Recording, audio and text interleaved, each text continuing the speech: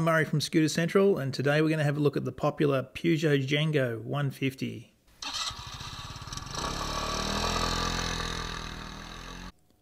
Peugeot's history with powered two-wheel machines dates all the way back to 1898, and even today, the Django 150 takes many of its design cues from the famous Peugeot S55 that was seen all around Paris in the 1950s.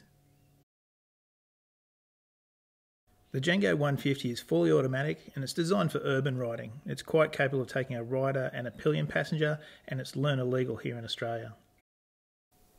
The engine is a fuel injected 150cc four stroke with an easy twist and go CVT transmission and a top speed around 100 km per hour. The lighting system at the front of the scooter is easy to operate and comes with a halogen headlight and LED indicators. At the front of the scooter, we see the wheels are 12 inch and they're mounted on telescopic fork suspension. It also has anti lock disc brakes at the front end.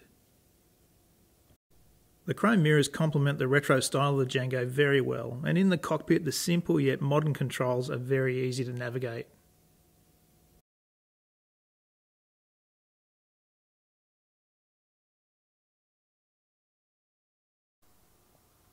The right side glove box has a 12 volt charging outlet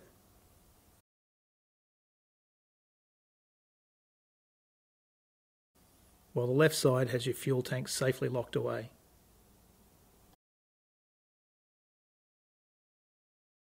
In the same area, there's also a handy bag hook to help increase your storage.